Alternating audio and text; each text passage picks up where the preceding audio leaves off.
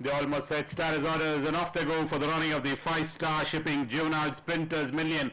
Grade 3 missing the kick was uh, born to be spoiled almost about four lengths at the start.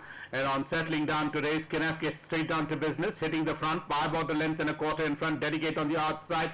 Two and a half lengths behind his leatherback Long Lease is next and uh, then comes another two and a half lengths behind is Call Me. And further five lengths behind is born to be spoiled as they travel towards the 700 meter marker Kenaf it is by about three lengths in front of Dedicate is nicely settled in second, Leatherback in third. Long Lease comes to next. They have been followed by Call Me and Want to be Spoilt is uh, almost about eight to ten lengths behind as they begin to approach the final turn and straighten up for the uh, final run-in. They got out little over 400 round running of this five-star shipping juvenile sprinters million grade 3. Kenaf is the leader.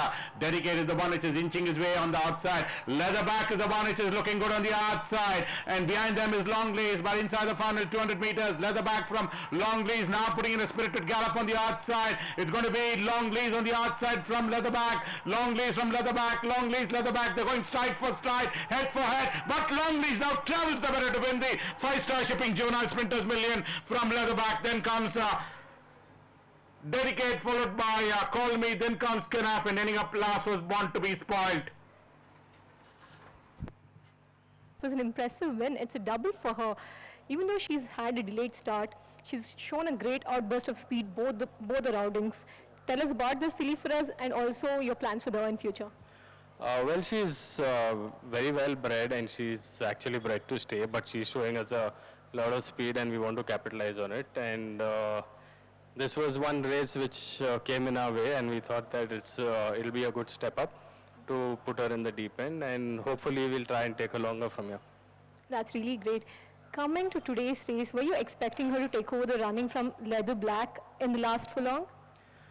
Well, yeah, of course, I was expecting her to take it over. You know, that was uh, the intention of putting the final entry. We thought we had a real life chance. Uh, Leatherback has run a hell of a race, and uh, I hope I improve from here, and we hope for better things.